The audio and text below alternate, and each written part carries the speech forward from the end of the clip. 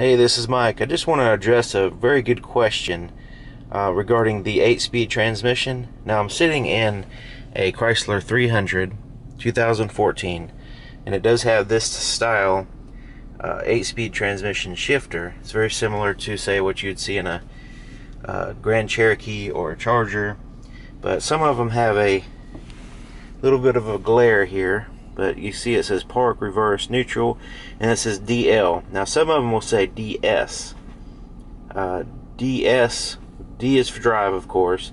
Uh, the S is a sport mode. Now this one is a L so that stands for low. But it's an 8 speed transmission so the question would be normally well how low is it going to go? Um, is it going to put it in first gear? You know but basically what it does is if you're driving and you're on highway speeds and it's in eighth gear driving if you put it in low all it's going to do is change from 8 to 7 so depending on which gear you're in it will change the gear to a lower gear. It's not going to um, you know like drop it significantly. But if you are trying to go down a hill and you're going too too fast um, whatever speed you're at, you can downshift to the low lower gear by putting putting it in in low. So I'm just going to show you what it looks like here. So right now it's in park. Put it in reverse by bumping it back. And basically I'm just going like that to change the gears. It goes back to the center position. And I'm going to go down again. Now that's drive. I'm going to go down again. Now I'm in low.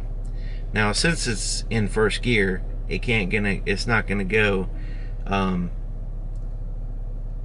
any lower than first gear. So it depends on what your speed is, what gear you're in, and all that good stuff. Now I, I can bump it down to drive again. Now if I'm in low and I go up, it's gonna go in the neutral.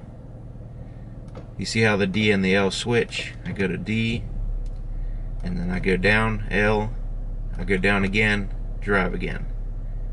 So about that's that's my understanding of what the um, 8-speed transmission does when you put it in low. If you have any questions or if you have any clarifications leave them in the comments or send me an email. Uh, my email address and phone number will be in the description. See you next time